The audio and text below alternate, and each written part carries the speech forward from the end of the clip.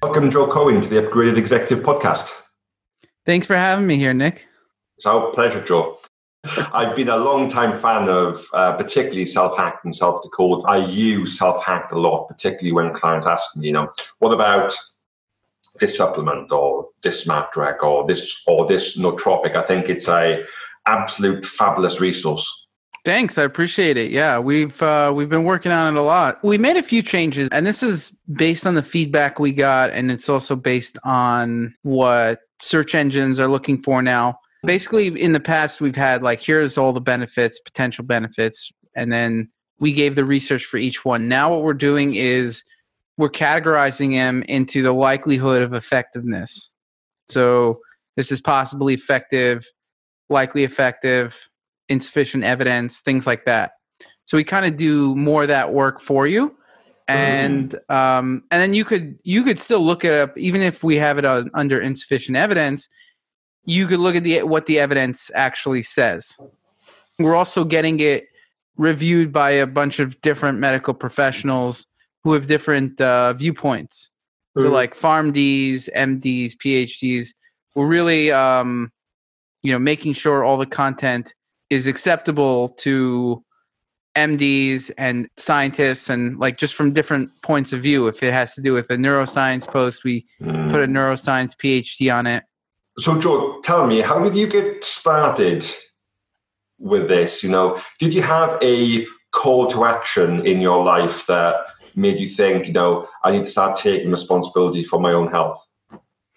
Yeah. So, one thing I realized was that if you're not healthy, you really can't do anything else in life. If you think about what the most important things in someone's life is, healthy, happy are, are big ones, and then they they might want to say they want to have good relationships.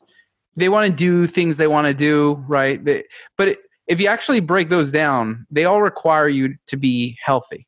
Great. So if you're gonna like get into relationship, it's a strain on your relationship if you're not healthy if you're going to try to make money to do things that you want to do, you're not going to be able to do that if you're not healthy. Or it's going to be a lot harder. In my case, it was just not possible because of the types of issues I had. They were affecting motivation more than anything else. It was affecting core cognitive functions and things like that. And so for me, it wasn't an option. It wasn't like I even had a choice. But for but for people where it is an option, maybe they don't really notice that big of a difference. But if you are having health issues, no matter pretty much what it is, it will affect your relationship in some way. Uh, it'll affect, you know, if you can go out or do what you want to do. It'll affect how much money you can make. So preventative action is really important because an ounce of prevention is worth a pound of cure, right? It, it really like if I were to wait, if let's say I didn't do anything and I would have waited, I probably would have gotten a whole host of like general, you know, recognized diseases rather than just symptoms of an undiagnosable disease. I realized that in order for me to do what I wanted to do in life, get in a relationship, you know, um, make some money, like be financially uh, autonomous and you know just I, I didn't need to be like super rich or anything but just have a have a good and reliable living. Everything really came back to uh, you, you really need to have your health in order. And, th- and that's something i realized. So before i did anything else in life i, I just said okay i got to fix these issues. Number one priority you know i was 26 i got to shel- shelve everything aside to focus on my health. Mm. joe are you, are you happy to share with the audience the kind of things you were suffering from yeah, so I'm pretty public about that. Uh, I suffered from really, I had a lot of symptoms. It was brain fog, uh, joint pain. I had, you know, it was just anywhere I got an injury, I, I had a lot of pain. I had IBS. I had uh, other gut symptoms. I had like sleep problems. I was tired. I had motivation issues. I had uh, anxiety and other mood issues.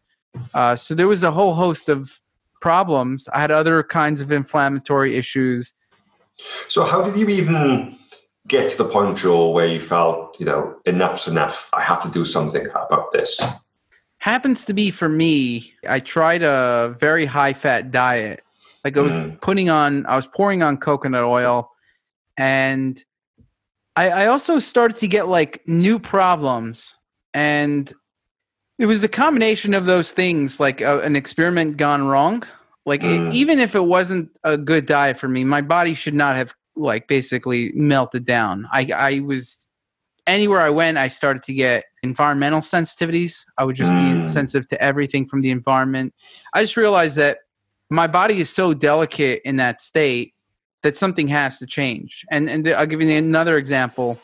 Anytime I would play sports for like an hour, I would get the worst headaches and I would just feel winded and nauseous and it was just like I realized okay, I was basically getting new symptoms, my existing symptoms were getting worse.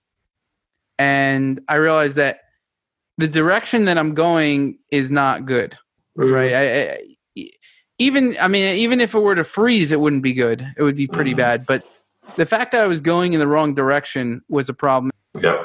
So how did you even get started, Joe? So I presume you had these conditions. You you probably went to your MD and no doubt got you know not a lot of answers, and then you've taken responsibility yourself.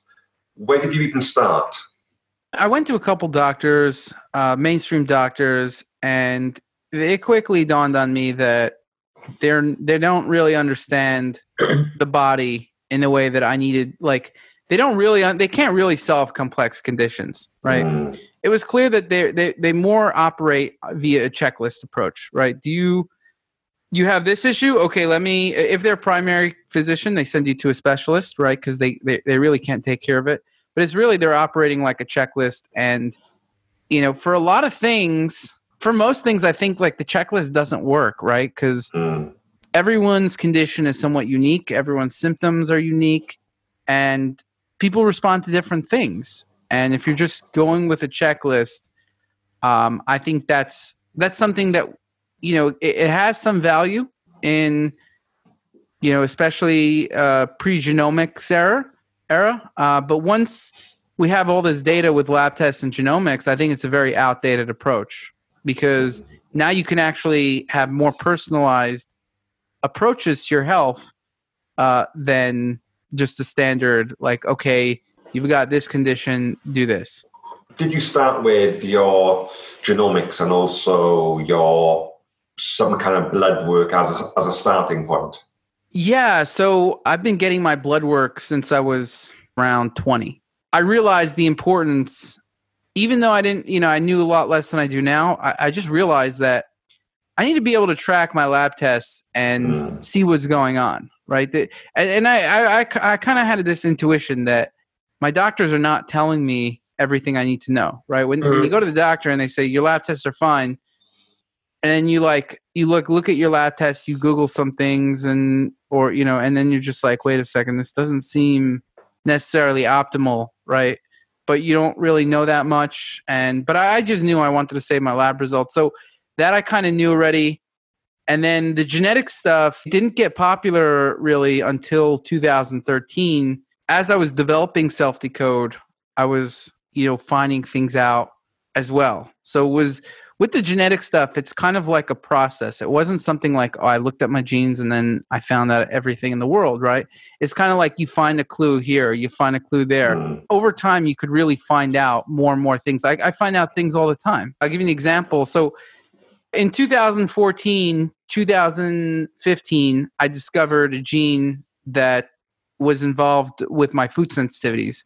That was related to the cannabinoid receptor and that allowed me to do experiments that took that into account because i realized that you know the gene was was uh you know wasn't a very common gene and it was also associated with a lot of conditions that i had and then i also realized that the, the cannabinoid system in general was related to a lot of the symptoms that i have right? The mm-hmm. cannabinoid system is a very anti-inflammatory system.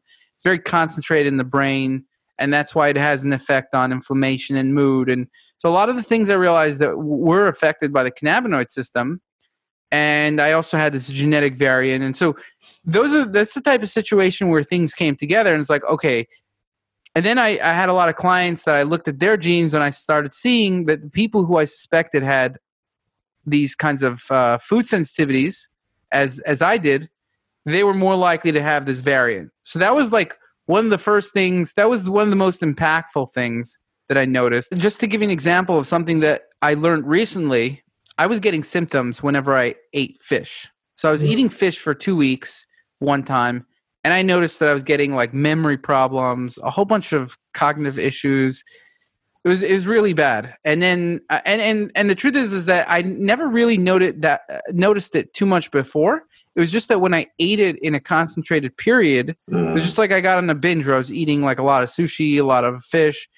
I started to notice cognitive problems and it, it was different kinds of cognitive problems. It was like cognitive problems that were different than food sensitivities because food sensitivities they go away after a day, two days, whatever.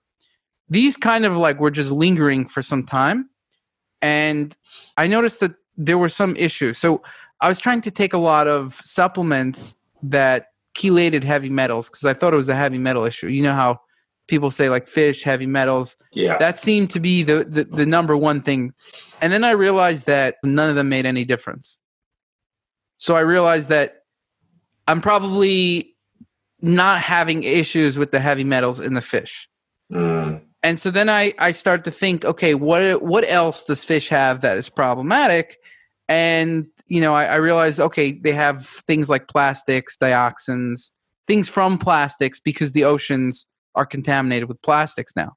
And I would always eat like wild caught fish. And even if you don't, like there's other issues when you have farm farm raised fish as well, right? Mm-hmm. It's just you know, w- one way or another, the, the, the, fish has problems with with toxins. In any case, um, but I would eat a lot of wild fish, and so I then thought, like, what can detox against uh, plastics or dioxins or things like that? And you know, and, and I said, okay, activated charcoal is something that could do that.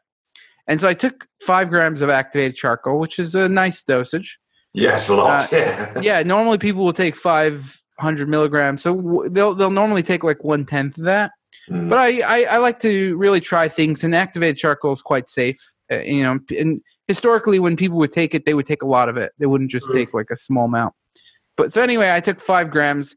All of these symptoms went away in about like an hour. Like I just felt like this clearing up of cognitive symptoms and and and I just realized that okay, this this has something to do with toxins that activated charcoal is bonding to, and it's probably the plastics.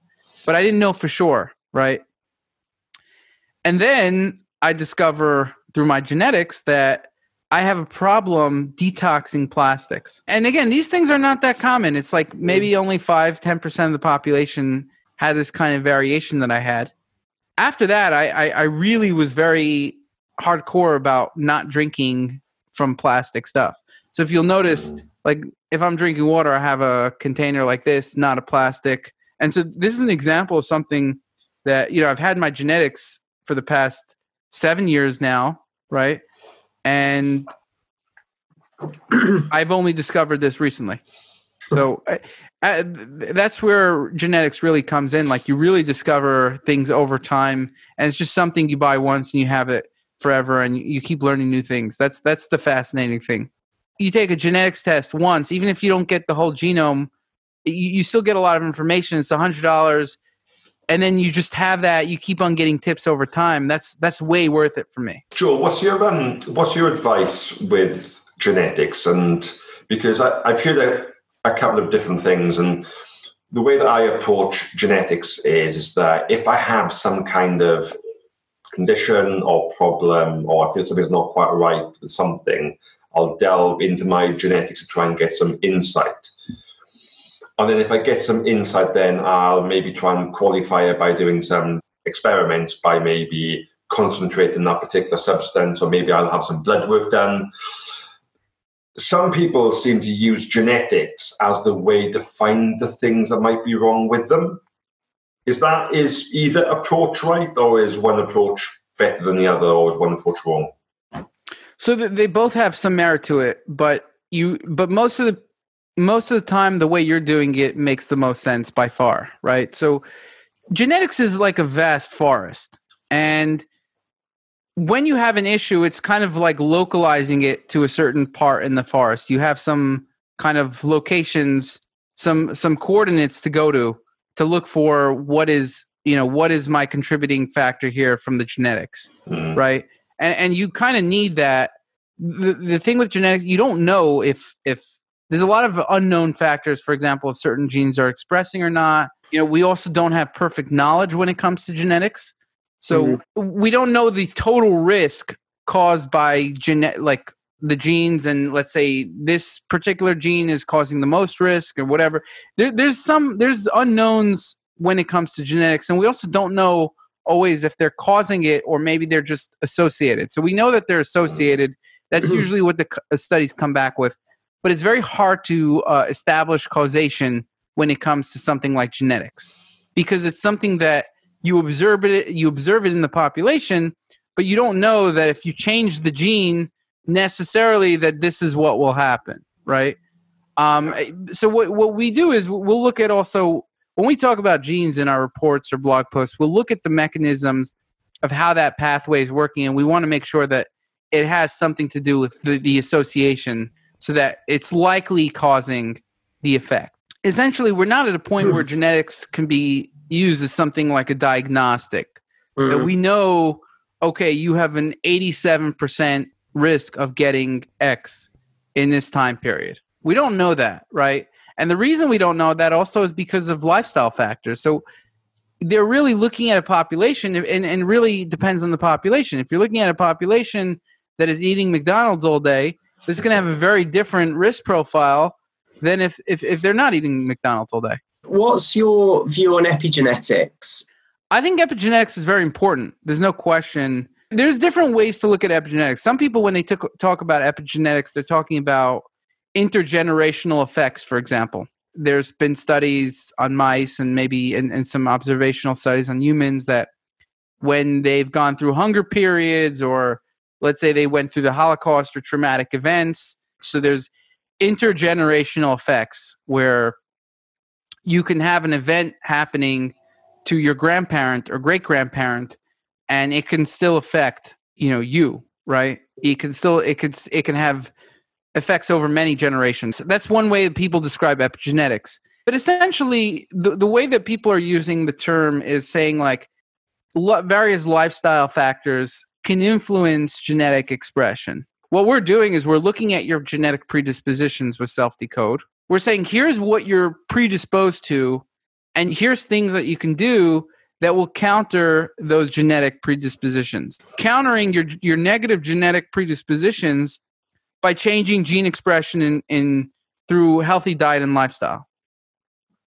And i'm a very big proponent of that. I think that's one of the reasons why you can have uh, why predictive power of genetics is a problem because if you have a study associated with some condition uh, the, the problem is, is that it maybe is only associated with that condition in the population that you studied. Maybe they had higher levels of toxins in their water, right? Mm. Or maybe they had higher levels of pollution, and it only comes into play when you have that pollution. Mm. And the other thing is that there's a lot of ethnic and sex differences. So if a study was done on uh, Asians, it might not apply to white people in the United States, partly because they have different diets, they have different lifestyles, they have different uh, environments that that could play a huge factor, but also because there's a lot of unknowns right now that it could be people often inherit a lot of genes together. You'll notice that let's say if you inherit something from a da- a parent, a mom or dad or whatever, um, you'll get like a cluster of traits together rather than just like one random trait here, one random trait there. Basically, e- ethnic groups have like genetic clusters that that are inherited together, Mm. and and same with um, you know, families or individuals, right? You get these clusters from each parent, and and so we don't have enough information to know that it could be that if you have one gene, it only affects you if you have gene B as well. Mm. And so that's why you see there could be differences between ethnicities, uh, probably mostly because of the differences in um, environmental variables and diet and whatnot, but also because of uh, the, the genes being inherited together. Now, one thing that Nick mentioned before that I want to get to is um, what about the people who try to diagnose with genetics? And the answer is is that I in general that's not a good approach. The approach that you take, Nick, I think is a good approach where you already have a problem and then you look at your genes and you, you try to get more insights into what you can do about it and and you know and see like uh what is what is this related to? What, what basically you're getting more insights into um something that you already know you have right? You already have an issue. If you have rheumatoid arthritis and you have this gene that is associated with rheumatoid arthritis and you know and it, and it makes sense that it has a causal impact on rheumatoid arthritis then that's probably having an impact on your condition and you want to know about that right? You want to you want to be aware of it at the very least and and uh, so when you're doing research or whatnot you could see various um, recommendations that have that also might help with that pathway. The only time that it might be useful to use genes as a diagnostic is when you really have no idea what's going on right? If you just have joint pain rheumatoid arthritis then it's pretty clear what's going on. If you have a diversity of symptoms, no diagnosis, doctors are not able to diagnose you, but you have a lot of symptoms, then you want to know what is this related to. So I'll, I'll give you an example of, of how that was. Um, I brought on a co-founder who who is our, our chief science officer, and he was just browsing around my genes, uh, you know, just because that mine is the de- default file that we use internally, hmm. right? Mm-hmm. And he's just like, yeah, I just happened to be browsing, and he said, you know, I think a lot of your issues probably stem from the gut, um, like the ones that you historically had that that I was able to fix. He said, I think it had, to, you know, it, it, it stemmed from the gut. And I said, you know, that makes sense. Um, but what are you? Why are you saying that? He said, because I looked at your genes, and it's just I, I, I just see a lot of genes that are like gut related, like that, that that have to do with Crohn's and other kinds of autoimmune issues. And what he says is that he, he thinks that I didn't get those diseases because of some other factors. But what happened is I got a lot of the negative effects from those genes. And so I kind of I, I was basically in this pre-disease state. Mm-hmm. And he's he's an MD, right? So he was conventionally trained. Um, he's not. I wouldn't say he's any kind of alternative guy, but he is open-minded, very skeptical, but open-minded as well he's just looking at my genes and he said, "Look, you know, it's it's clear that this is like you probably have something like it probably started with the gut and then it made its way to other parts of the brain, the hypothalamus, things like that. But it, but he thinks it started in the gut because of the number of genes that I had, and that makes sense because I've always had gut issues, and then this, the other stuff came later. So in that sense, I never was diagnosed with, let's say, an official autoimmune disorder, but knowing that I had all the a lot of variations that were related to gut inflammation, it started to make sense. Like you can, it's kind of like a, it, it's not you can't really diagnose, but you could say maybe I'm in this pre-disease state for Crohn's or ulcerative colitis, uh, things like that. And and I would say that that's true.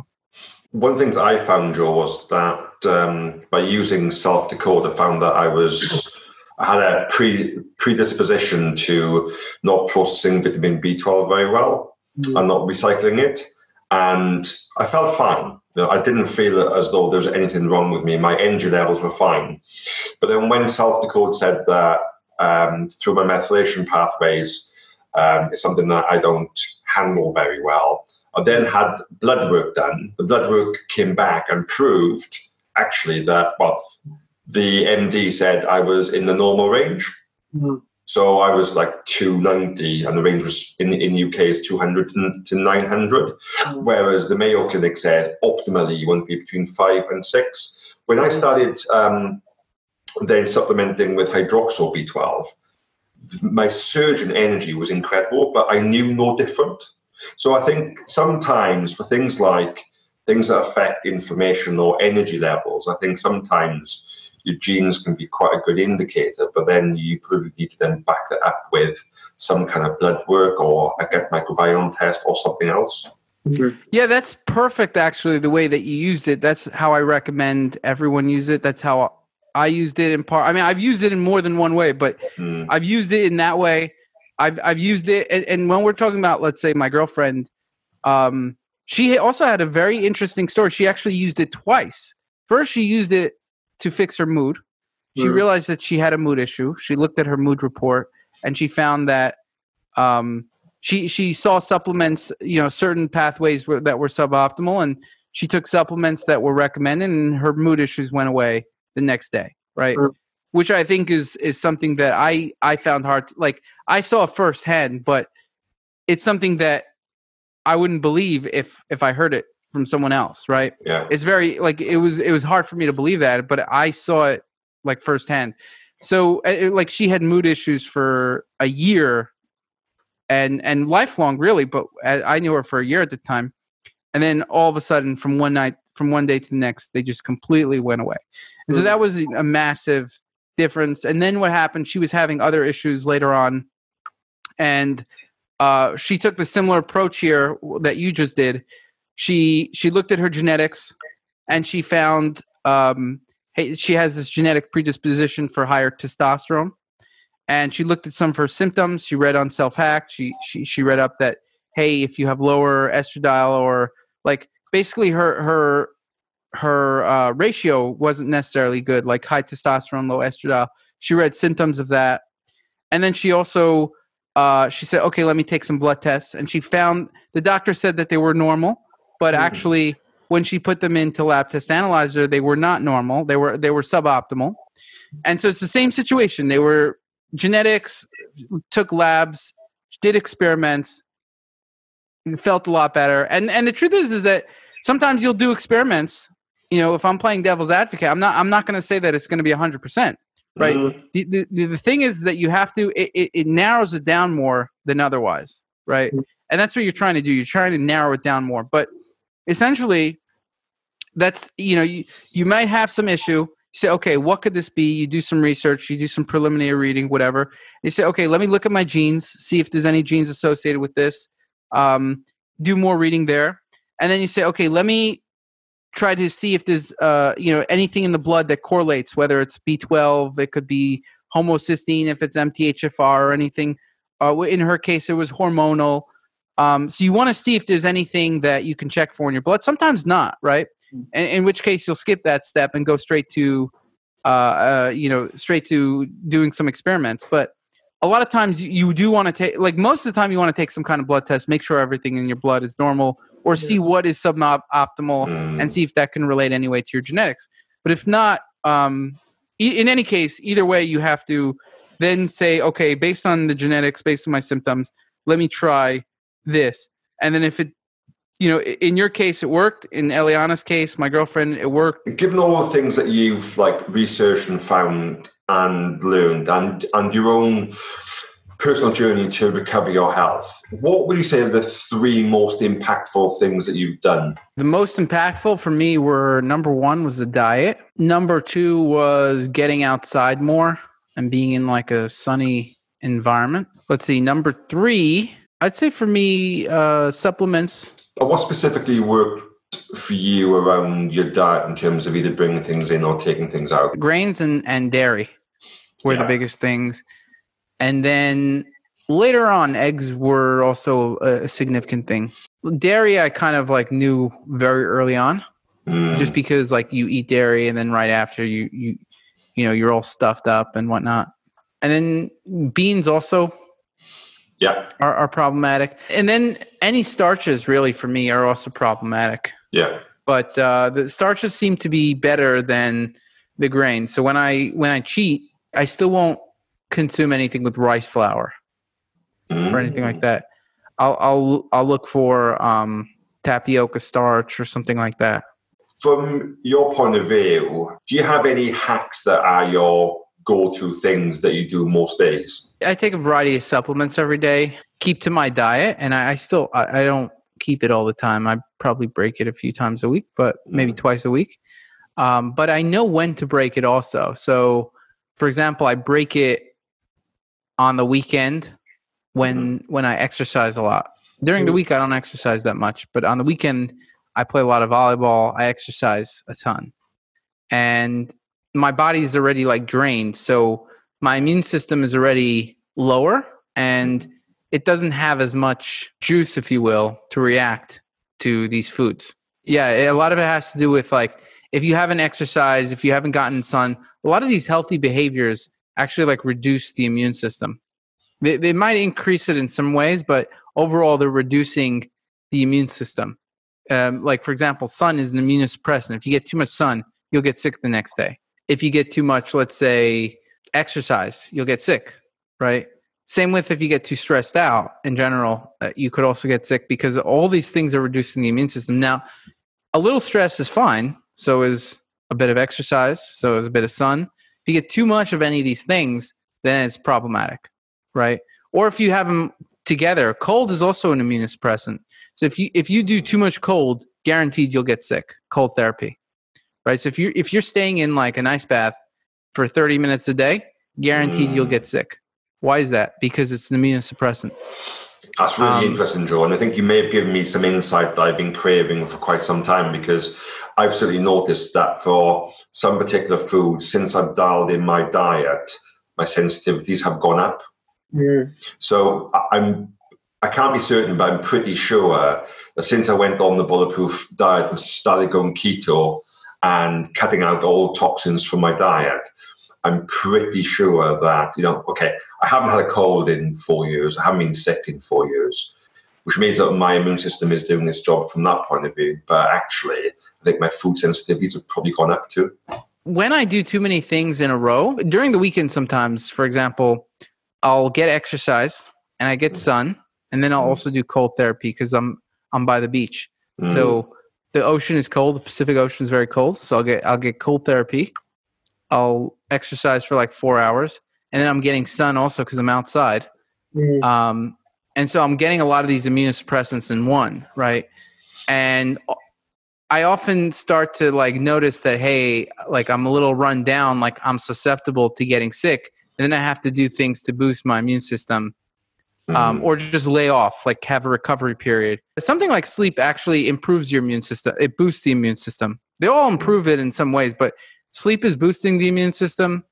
Vegetables boost the immune system. So, actually, for example, if I have a vegetable juice with a grain, I will get a much bigger reaction than without the vegetable juice. Even though if I just have the vegetable juice alone, I won't have necessarily a very big reaction. Like, for example, cucumber juice. I can have cucumber juice and not really have uh, too significant of a reaction.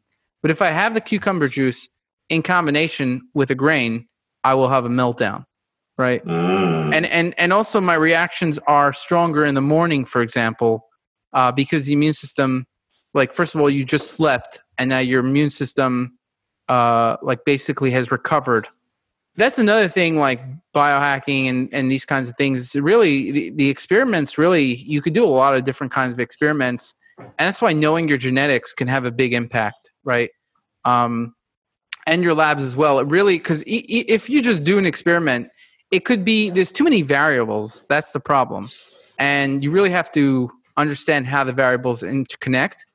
Uh, so I, I really think I'm a very big fan of you know doing these experiments and biohacking and everything in combination with your genetics and lab yeah. tests. I don't think people really appreciate how big self hacked is. Can you give the audience some kind of idea on the number of visitors that you get either per day or per week or per month? Yeah, so that can change based on the Google algorithms.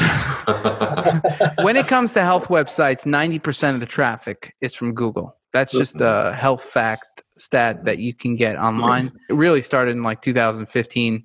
Mm. And so it was a relatively new site. We were growing quite fast. And uh, so at its peak, we were getting around uh, 2 million people a month, actually.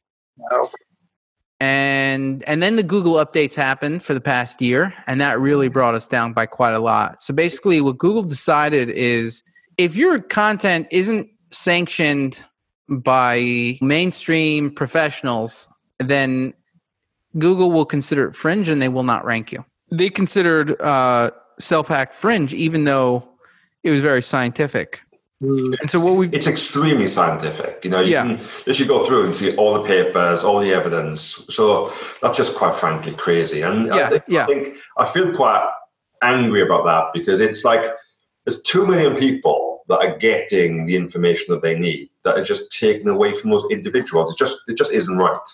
Right. I feel the same way. But what we did was, um, in part, you know, bringing on this uh, my the, the chief science officer and medical director. I, I thought that was necessary for a bunch of things because he has a lot of skills that are useful for self decode and lab test analyzer. Uh, but in any case, when he came on, he looked at the content and he said, "You know, this is really great content," but he understood that some of the things were not main, he, like they were not medical consensus stuff, right? Mm and he also looked at um, i think there is something to be said that when an md like when a conventionally trained md you know who, who really like who was steeped in the conventional world and then he became a scientist so he understands science really well and he understands medicine really well and how people think about it and he understands like in medicine there's something called the standard of care mm-hmm. and when we're writing on self-hacked we're assuming that you've already like done the standard of care or you've read about that on any number of sites but what but his point of view is that that you cannot write something like you know if somebody doesn't understand your website that you they cannot think that this is like a standard of care or something like so th- there's there's perceptions that um that that I don't necessarily appreciate that people might have. For example, let's say if we list potential benefits for a supplement or something. I see that as like it's implicit that we're giving the evidence and you have to decide for yourself what it means for you, right? So if we're giving you animal studies, you have to decide, you know, uh, what kind of evidence is an animal study, and that's up to you to decide. I never wanted to decide that for people because I always felt like for me, animal studies could be useful, whereas you know other people think that they're not valuable at all, right? So I always felt like I don't want to take a side in this debate. Let me let me just let's just say what it is, mm. what the evidence is, and people could decide on their own.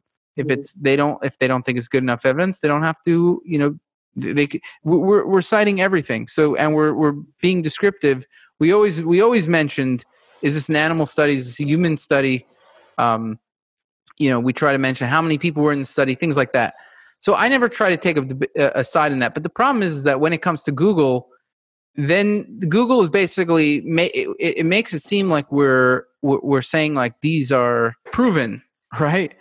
And being steeped in the mainstream space, he kind of understood where Google was coming from in that um, you know you want to give people a standard of care you want to give for the because there are people who really don't know and it's like you have to tell them hey, this is only animal studies. So now what you're going to see in, in the content is like, this is animal studies. We don't know if this has any effect on humans, things like that. And I think it, like it kind of adds a lot of content that doesn't need to be there. But the thing is like, that's kind of what Google wants. He says like our science is now better than every other site out there. By the new year, uh, by January 1st, the whole site will be updated it's going to seem more conventional just because we have to put in like disclaimers and whatnot.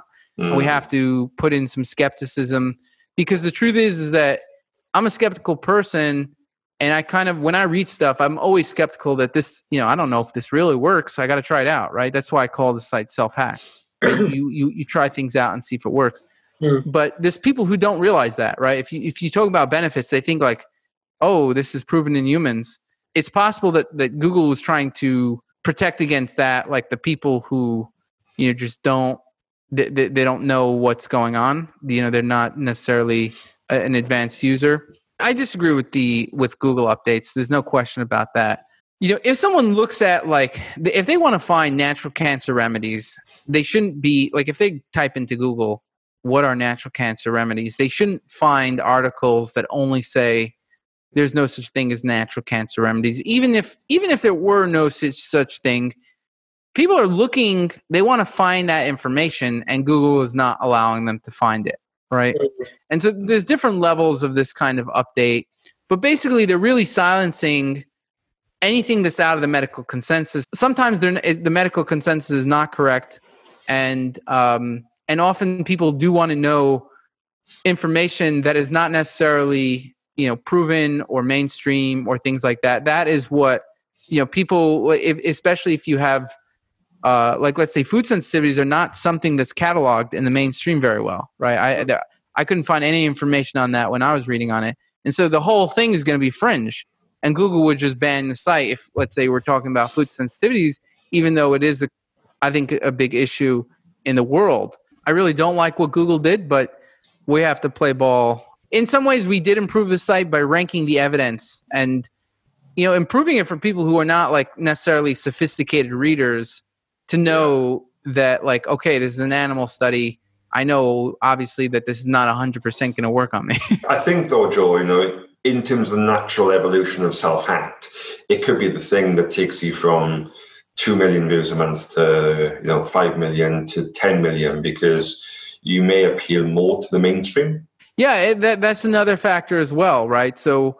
Um, the, what we're doing now is he's got the mainstream medical hat on, and he's basically saying, like, if, if somebody printed this out and took it to their doctor, that no knowledge of alternative or natural or anything, what are they going to say about this? And so he says, like, based on the content that we have now, he says that it's going to be acceptable to the mainstream and it's also going to be acceptable to people who want, you know, more alternative stuff. Like, not necessarily that's not in mainstream medicine. So if it doesn't fix the Google penalties, which I think it will, but if it doesn't, then the whole Google thing is just a scam. So we'll we'll, we'll yeah. see that because he said i've looked at all these other sites self-hack now has the best content by far right like it, it's this is the most medically accurate content all of our writers are scientists they're not like if you look at webmd healthline none of them have science writers they, these these people do not understand science and it's just fluff pieces it's just regurgitating from other pieces online it could be once you're penalized that you can't get back in which case we'll have to transfer the stuff to a different domain. Basically, we, we're, we're thinking about combining it with self decode so that it'll be on like content.selfdecode.com. There is synergies between the genetics and the other content. And so we, we think that under one brand, it could be more powerful than separating the brands to like self hack, self decode. Even if we do well, I think it's um, with Google, I, I think it makes more sense to have a central branding. Joe, we've, we've spoken about self-hacked and self-decode. Could you just tell the audience um, what a lab test analyzer is? Yeah, so that's actually something we're also planning on uh, putting on self-decode as well. It's, okay. it's going to be yeah. Uh, we're, we're, probably we're going to be um, converging all of our assets into like one brand and one domain, mm-hmm. uh, and that's it's going to be under self-decode. So essentially, the idea is that we're giving you the information and tools to decode yourself. And Lab Test Analyzer was a project that we started on its own, but a lot of people have been wanting to use it in conjunction with genetics, which makes sense. Lab Test Analyzer, it's completely different software. It's analyzing the lab tests and telling you what's optimal, what's not, and how to get things in the optimal. We're also working on a version 2.0 that is going to take in together uh, the all the symptoms, the lab tests, and genetics and uh, other data to come up with a comprehensive picture instead of like analyzing one thing one mm. at a mm. time. Like, okay, here's your genetics, here's your labs. That's awesome. That's really, really great because I, I, know that nobody's doing that currently. Nobody's doing it. That's correct. Yeah. So, Joe, I've got one last question for you. What would be your top three tips for any executive that's looking to increase their personal or professional performance? Number one is I, I, really think that people should be looking at their lab tests and genetics, and and the reason is because there there is no such thing as one size fits all, right? If there was, imagine there was, then people would do something, and then everybody would know about it, and it would just work for everyone. It just doesn't happen, right? Um, you, you what you see is that somebody's helped by one thing, another person doesn't really notice the same effects from it. And so everybody is affected differently and mm. some people have like you're more sensitive to the nightshades i'm more sensitive to grains. You know we might both have food sensitivities but if we're going out to eat and we're breaking it you know what are we going to pick when we when we eat something? And, and that could have a very big impact. So it's very hard to give generic advice that will just apply to everyone like what's your top tip if if my top tip worked for everyone, it would just everyone would already know it. Joe, I want to just thank you for your time. It's been a fascinating interview. I'm very, very grateful that you've taken the time to uh, to speak to us at Upgraded Executive. Thank you. Yeah, my pleasure. Great speaking. Top man. Thanks, Joe. Cheers, Joe. I'd like to thank Joe for his time. Do check out Self Decode, Self Hacked, and Lab Test Analyzer. Remember, if you would like to access our content one week before it's released, please leave your details at www.upgradedexecutive.com forward slash subscribe and we will send you a special link so you can access the videos one week before we officially release them. You can also follow us on all of our social channels at Connect with UE.